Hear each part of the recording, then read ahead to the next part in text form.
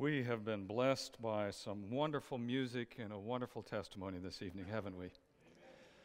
Uh, wonderful to be together in Christ at camp meeting, and I'm delighted to be with you. Um, those of you who know me well know that I love the epistle to the Ephesians, and so it will come as no surprise that uh, I am nominating four passages within that epistle uh, to you this week as life texts. I hope you will adopt these passages of Scripture and integrate them into the very fabric of your walk, your relationship with Jesus Christ, and that they will inspire and nurture you. And I am delighted to be opening the Word together here tonight. Would you bow your heads and pray with me, please?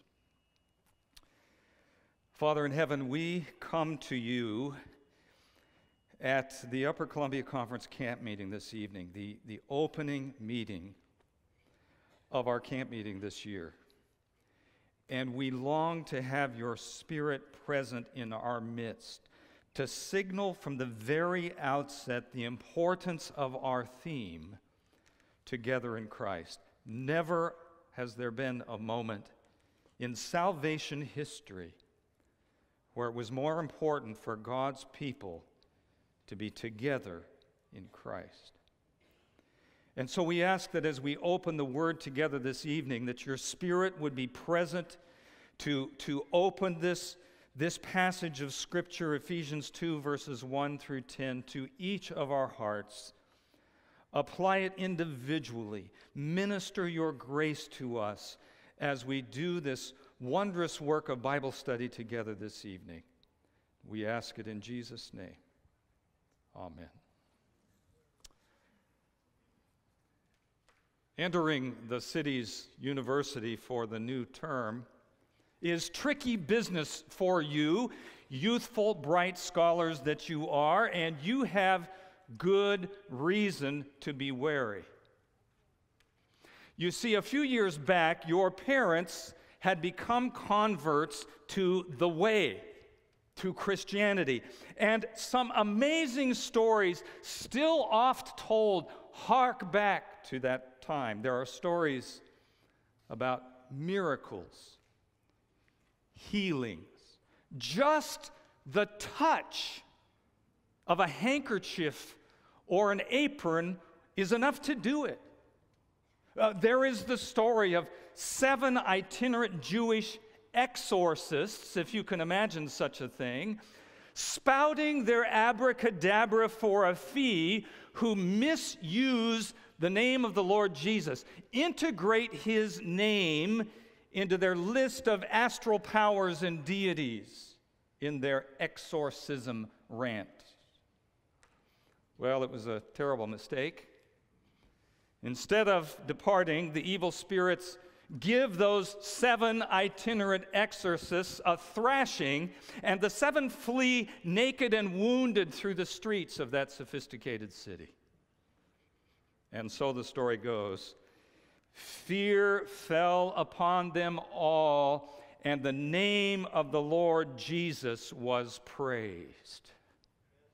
Back then, members of the way, followers of the Lord Jesus, are so successful in attracting converts that income to the great temple of Artemis, one of the wonders of the world, income to that great temple plummets. The whole tourism industry suffers as well. A huge riot breaks out down at the theater, which accommodates 25,000 people, and it leads to a lot of sore throats for citizens of the great city of Ephesus who shout for two hours, Great is Artemis of the Ephesians. Not the best PR, perhaps, but the point is this. Back then, Christianity is influential, the latest thing, a force to be reckoned with. To be a member of the way has certain cachet, clout, standing. But over the years, things have drifted back toward normal. Pilgrimages to the temple of Artemis have almost returned to their once usual levels. Silver shrines of that temple again sell at a fast clip. The month long spring festival honoring the goddess Artemis is again well attended. Thousands join those festivals. Thousands follow the statues of the goddess along the sacred way around Mount Pion. Her athletic contests, theatrical shows, musical concerts, and sumptuous banquets are as well subscribed now as ever. All the best bands play her songs, that lyrics of the most of the most popular tunes croon loyalty to her. The big companies sponsor her feasts, bask in their loyalty to her. So it is no secret that the campus of Ephesus University is not a Christian one. Oh, there are prayers and hymns at the university's open, opening convocations, but they are hymns and prayers to Artemis. And if you are honest about all of this, you yourself have felt the tug of it all. Being a member of the way, a follower of the Lord Jesus, doesn't carry the influence it once did. It no longer opens doors, it shuts them. To worship the Lord Jesus is to risk becoming a pariah and an impoverished one at that. So it's been very natural for you to look for coping strategies, ways to soften the edges of your Christian identity. Would it really hurt to attend one of their festivals now and again, to sip some of their libations? Perhaps your witness to Jesus might be better heard if you weren't so odd, so out of step with the culture around you. You've even been missing Friday evening Bible study recently. That gathering held in a disciple's home discreetly with guests entering through a back alley. But you've heard that a letter has come from Paul, the great apostle who preached Christianity here in Ephesus, the fourth largest city in the Roman Empire, preached the gospel here back in the first place. And this is in the day when a letter is more performed than read. Tychicus, a close associate of Paul's, has come to town and he will share, he will perform Paul's letter. It will be almost like hearing Paul himself. And so you tread gingerly down that back alley, your Christian identity in need of a boost, and you enter that house church. Warm greetings in the name of the Lord Jesus Christ. Hugs, good food, a, a great potluck. And then, with the group gathered and hushed, Tychicus stands for the performance. And it is riveting, it is gripping. And you listen to these words from Ephesians chapter 2, verses 1 to 3. You were dead in the trespasses and sins in which you once walked, following the course of this world, following the prince of the power of the air, the spirit that is now at work in the sons of disobedience, among whom we all once lived in the passions of our flesh, carrying out the desires of the body and the mind, and were by nature children of wrath like the rest of humankind.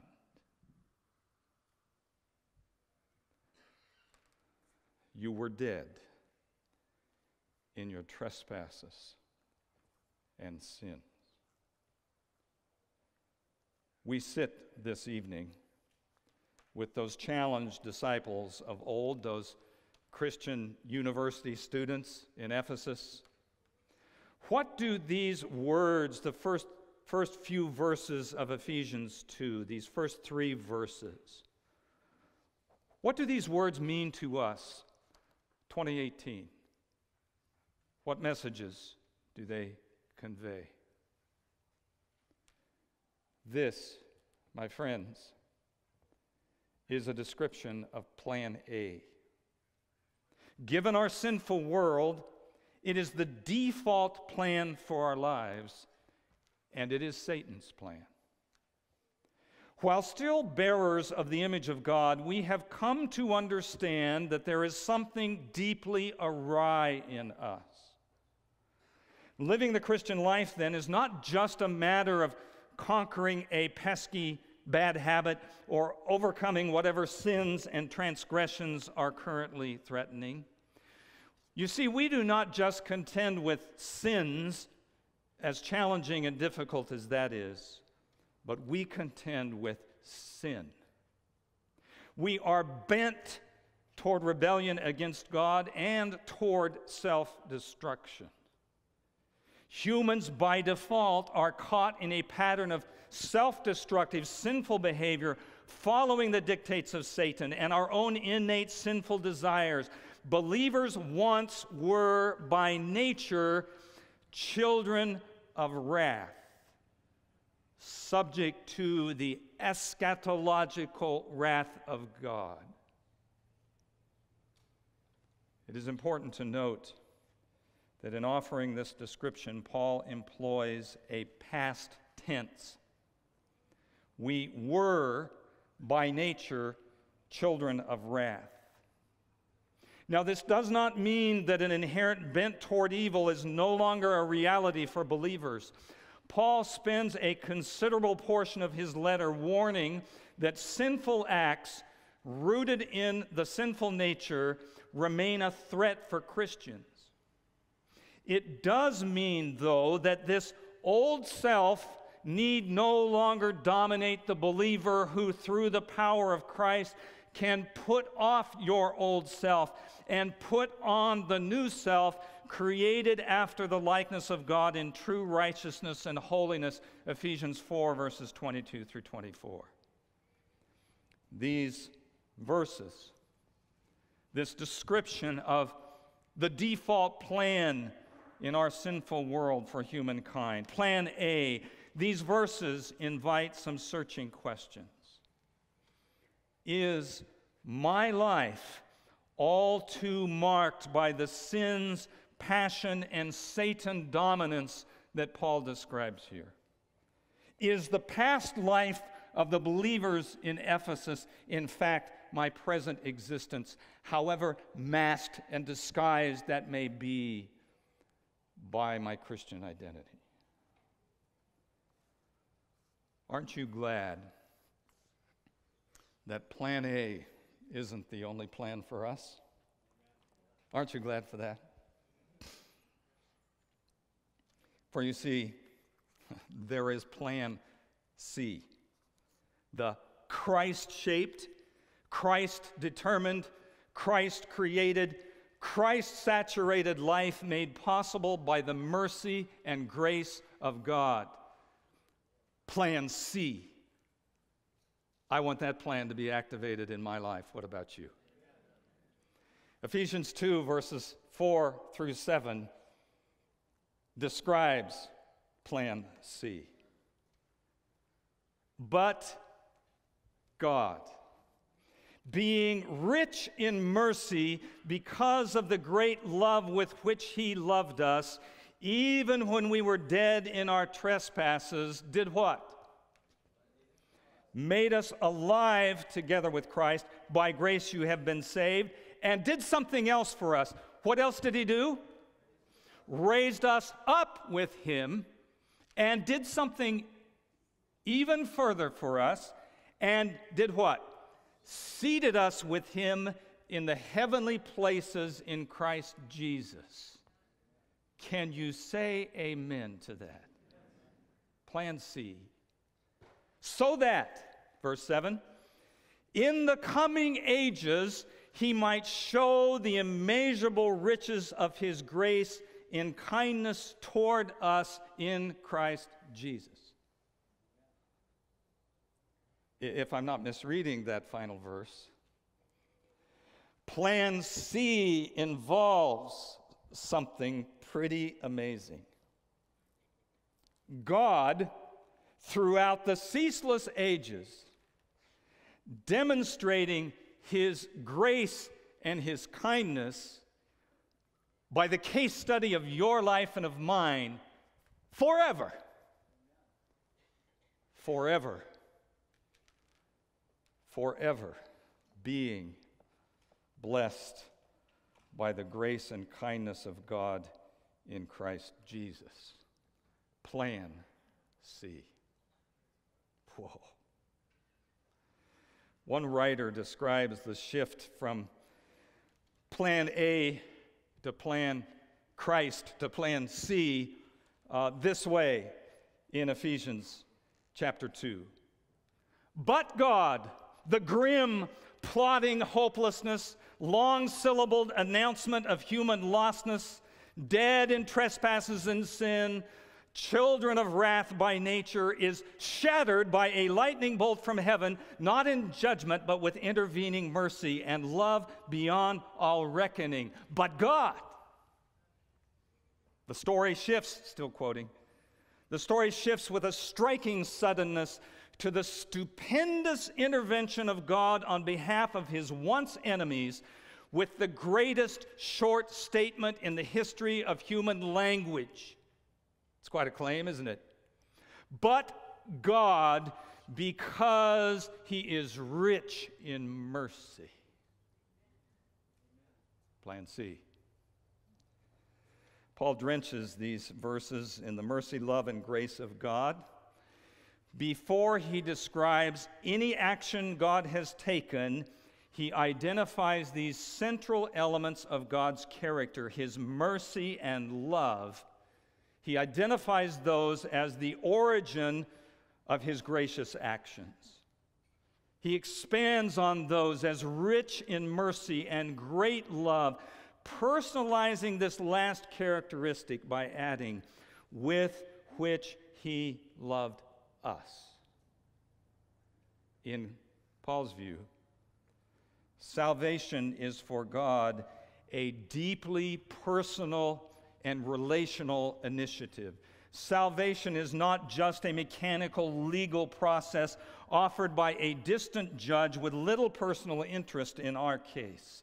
This is a father mounting the rescue of his children as it is everywhere through the book of, of, of Ephesians. It is heart work with him. He responds based on his character of mercy and love, directed very personally toward us. He cannot help himself. Let's go back to Ephesians chapter 2, verses 4 through 7. And if we can bring that up back up on the screen uh, I'm going to see if uh, you can see that well enough to read it with me. Can you see that well enough to read it with me? All right, let's read these wonderful verses together. Hear the word of the Lord. But God, being rich in mercy, because of the great love with which He loved us, even when we were dead in our trespasses, made us alive together with Christ. By grace you have been saved and raised us up with him and seated us with him in the heavenly places in Christ Jesus, so that in the coming ages he might show the immeasurable riches of his grace in kindness toward us in Christ Jesus. Amen. I love to hear the people of God reading together the Word of God, don't you? What does it mean? Key question of the evening. What does it mean to experience co resurrection, co ascension, and co exaltation with Christ? What does that mean? That we are so together in Christ that we together experience co resurrection, co ascension, and co exaltation with Jesus. To understand and apply this passage, we must remind ourselves of the relationship of the resurrected, ascended, and exalted Jesus to the powers of darkness. Paul's hearers and all humankind once served the rulers and authorities in the heavenly places. Ephesians 3, verse 10. Doing worship and obeisance to various astral powers and having only a destructive pattern of life, dead in trespasses and sins, to show for it. Paul does not deny the existence of these evil and demonic powers, nor their ability to dominate human life. However, and it is a gargantuan however, in the resurrection, ascension, and exaltation of Jesus, those powers have, in God's mercy driven and grace filled plan, been thoroughly superseded. Their, their hold on human existence has been made obsolete. In these salvation history events, resurrection, ascension, exaltation, these salvation history events centered in the Messiah, the cosmos has shifted, reality has changed, co resurrected, co ascended, co exalted with Jesus. Now, if you're struggling a little bit, if, you're, if you're catching the cadence of this and you can tell that this is wondrous truth, amazing truth, but trying to understand what it means with some precision is, is eluding you, I, I welcome you to the club. You know, there are some Bible passages that seem to break open, spilling their meaning at your feet, astonishing you with their fully disclosed impact. Others offer a suggestive flash of insight, but seem to hide much of their meaning, wrapping it in mystery and wonder, evoking worship as much for what they withhold as what they reveal. Ephesians 2, verses 4 through 7, is for me of this latter type, as are many passages in Ephesians. Paul's fulsome language, piling description upon description, Uh, alerts us that words are failing him in Greek, verses 1 through 10 of chapter 2 are one long sentence, what some call in Ephesians a tapeworm sentence. We may be as much exhausted by Paul's language as informed by it. Paul reaches toward the, the sublime, stretches toward the divine, but any thorough, fully satisfying understanding can seem to elude our grasp. What does it really mean to be together in Christ. What does it really mean to be co resurrected, co ascended, co exalted with Christ? Is it liturgical? Is it the letter form of the invitation issued by issued to John the Revelator in Revelation chapter 4, verse 1. You will remember that with a door flung open in heaven, there comes the invitation come up here, join in the worship service of praise going on before the throne of God. Revelation chapters 4 and 5. Is it representative? Christ in experiencing resurrection, ascension, and exaltation represents believers. We experience these cosmic acts because He is our representative. Is it participatory? Because of our solidarity with Christ, we somehow participate in His resurrection, ascension, and exaltation. Is it relational? Some of you know that I have an older brother named Bill. I like to remind him that he's 15 years older than I am. when my brother Bill uh, did something magnificent when I was a youngster, my stock went up. So you can imagine having an, an older brother, 15 years older than you are, your little kid, 15 year older brother, hero of your life. When my brother Bill, leading the trumpet trio in the Bugler's Holiday in the Walla Walla College Talent Show wins the grand prize, my reputation goes up, right? My stock goes up. Why? Because he is my brother. What is good for him is great for me. Is it relational?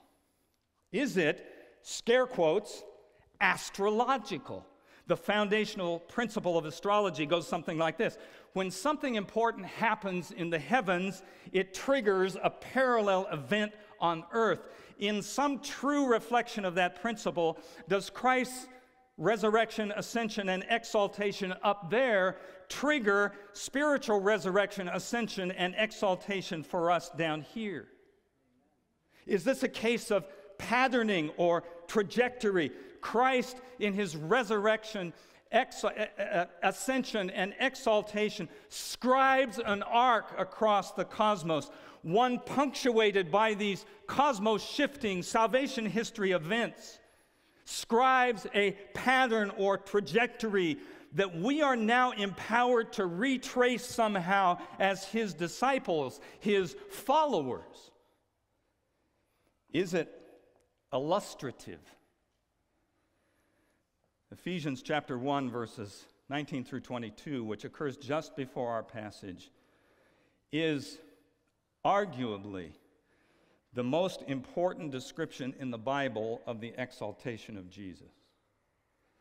Paul highlights the power of God illustrated in the resurrection and the ascension and the exaltation of Jesus. Quote, far above all rule and authority and power and dominion, and above every name that is named, not only in this age, but also in what? in the one to come. And he put all things under his feet. How many things did God put under the feet of Jesus? All things. An amazing description of the exaltation of Jesus. Christ's dominion is limitless and unbounded. His authority and power are untrammeled undiminished by the presence of any other power, and his rule is for all time, unaffected by any transition from age to age, unrestricted by any eschatological scheme, since in the Father's plan, Christ himself is the goal of eschatology. All things in heaven and on earth are to be united in him. Ephesians 1, verse 10. Stunningly, the divine power of God illustrated in Christ's resurrection and his ascension and his ex- exaltation to unbounded domain and absolute authority illustrates the power now on offer to us as believers. In fact, that same power is the source of the resurrection, ascension, and exaltation of believers. Is it illustrative? Well, I suspect, though I can't see you really well, I suspect that I'm risking exhausting you in my attempt to explore Paul's meaning. But I also know that I am in no way exhausting the meaning of Paul's implied story. Once the enemies of God now, through his grace driven initiative in Christ, we stand co resurrected, co ascended, and co exalted with Christ together in Christ. Mm. Having risked exhausting you, allow me to relax a bit and illustrate a cluster of meaning of this wonderful, amazing language. Uh, the cluster I refer to here would be representative, participatory, relational. Okay? So here's a little story. You were really special to each other way back in the eighth grade. BFFs, best friends forever. But we didn't really know that till texting came along, did we? You haven't seen him, you haven't seen her in years, you don't have a clue where she lives, what he's doing with his life. But on this particular day, your cell phone vibrates and displays an unfamiliar number from a distant state. Now, what do you do when your cell phone vibrates or rings and you look down and it's a, a, number that isn't in your contact list and you don't know where it's from? Well, these days, most of us do what? We ignore that number. Surprisingly, on this particular day, you answer it, and lo and behold, it's that long lost best friend forever on the other end of the call. There's some, some chit chat, a, a, little catching up, and then comes this line I need to tell you a story. And so the story spills out.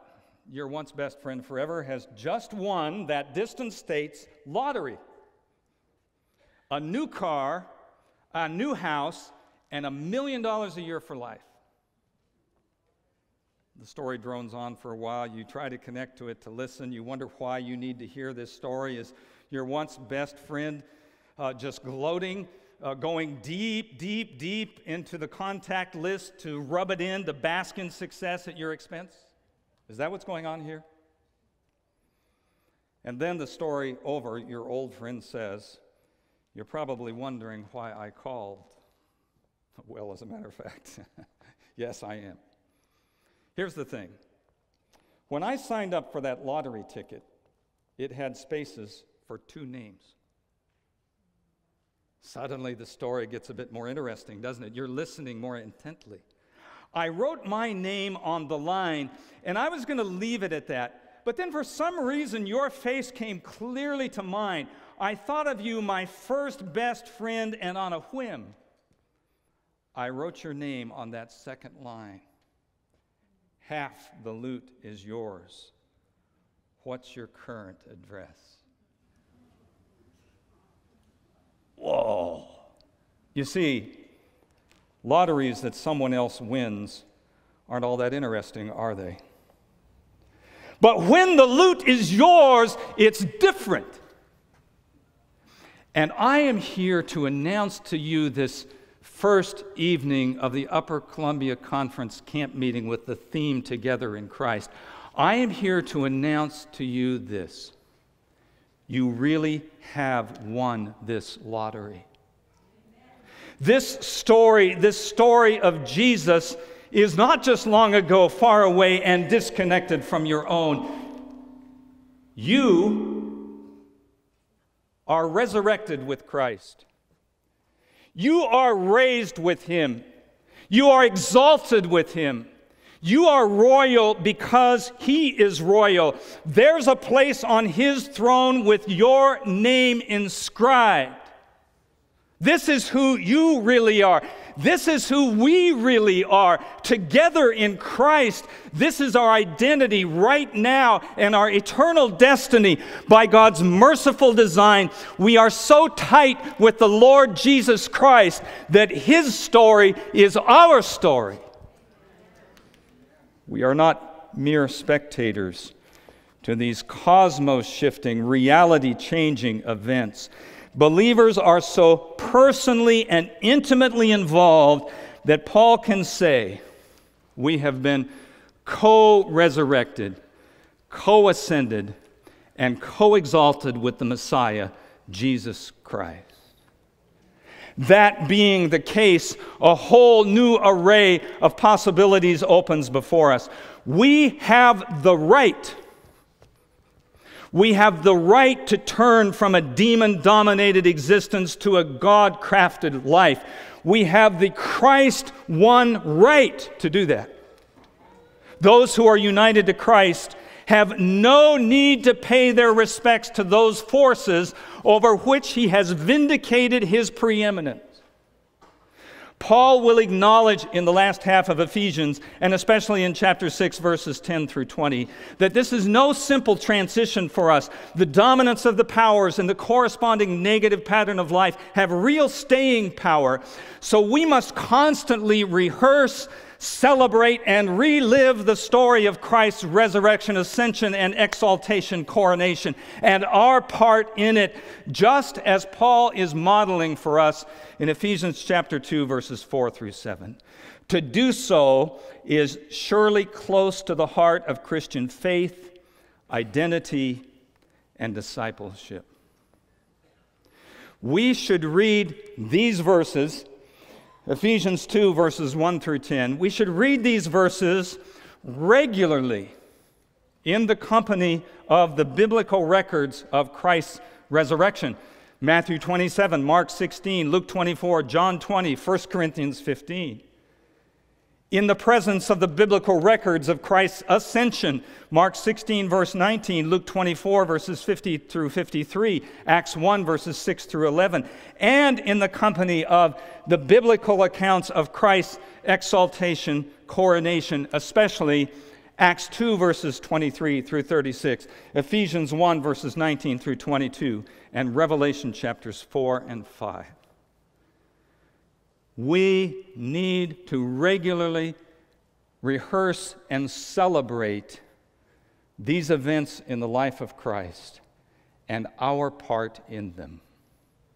Never forget Plan C, the Christ shaped, Christ determined, Christ created, Christ saturated life made possible by the mercy and grace of God.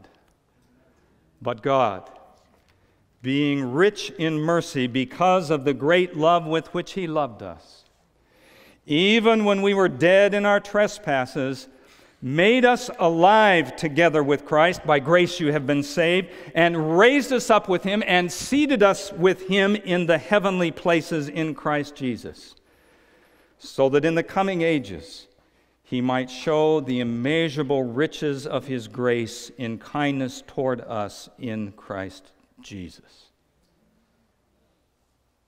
Amen. Allow me to conclude with uh, one more story.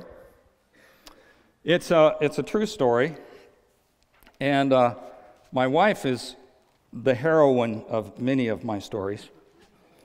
I'm not quite sure that description applies to this one. Uh, so I've sought special permission to share this story with you, and she has graciously granted it. It happens a few years ago, and I happen to believe it's a story that deserves to be told. Haven't told it very often at all, so, but you need to hear this story. A few years back, I'm, I'm, I'm on a trip somewhere. I, I can't remember just where. Some distant location, as I recall one of those you know very long trips to get back home. I think i was in, in, india perhaps or perhaps someplace in europe. And when i arrive home on that particular occasion there's more fanfare than normal. Pam's a little nervous. And as we stand out in front of our garage my suitcases on the driveway having not opened the garage door for some reason she says let me show you something and with that she ceremoniously pushes the button on the garage door opener, and with a little flourish, the door opens to reveal a dark green Mazda Miata, its black convertible top down, sporting on its hood a huge red bow. I don't remember if this was close to Father's Day or not, but the story spills out about she, how she has sold this and that and gotten contributions from this family member and that, and here it is my very own brand new used Mazda Miata. now, I'm a little shaken by this. It's not like her to do this sort of thing, to buy a car all on her own for me, a Miata. But it doesn't take me long to warm to the idea. My very own sports car. So I, I start examining the vehicle closely, worrying, I suppose, that without my wise counsel, she may have purchased a lemon. the car is hardly new, but it, it, it seems in pretty good shape, and it looks like a lot of fun. There are some challenging questions. This will need to be my airport car. I travel a lot, and I worry aloud that there's maybe not enough room for my luggage. And where would you put your golf clubs in this thing? But I'm into it. After all, it's mine. Quickly, I make the mental adjustments. It will all work out. I own a sports car. And it's just about then that I notice a sheepish look creeping into the edges of Pam's face. It takes her a while to summon her courage and admit to me that it's all a hoax.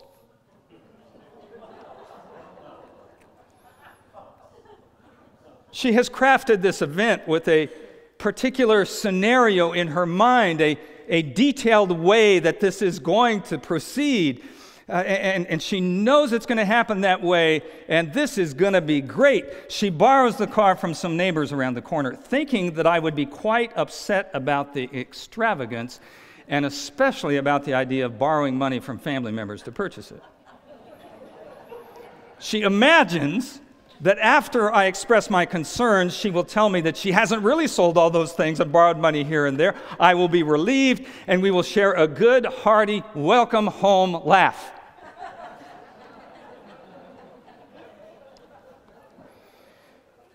but the scenario doesn't turn out quite that way.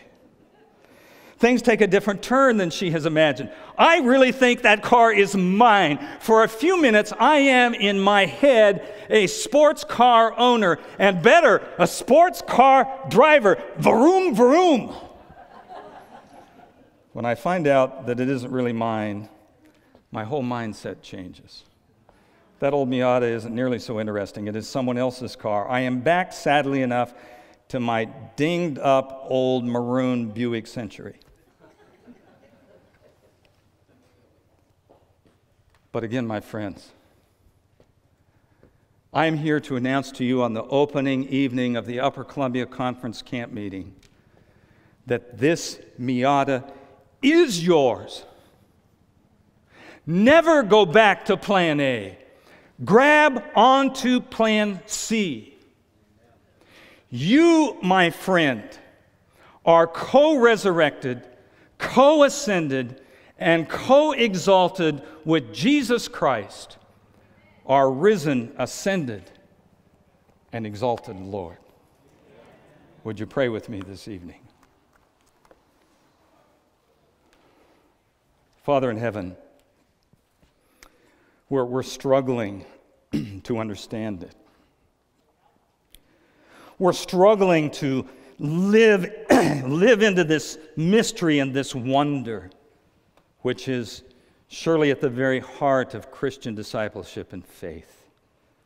This amazing truth that somehow we are co resurrected, co ascended, co exalted with Jesus. That we are indeed together in Christ.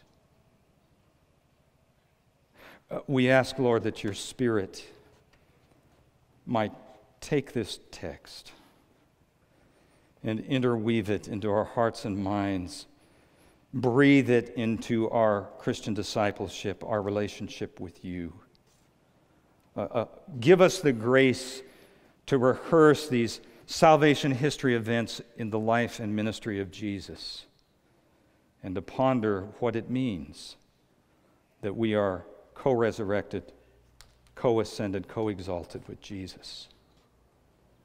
Let that mystery and that wonder and that truth inhabit our minds, uh, abide in our thoughts, shape the very nature of our Christian discipleship to you in this day and hour of Earth's history, and bring us to a fresh and wondrous point of unity, of being together in Christ. We pray it in Jesus' name. Amen.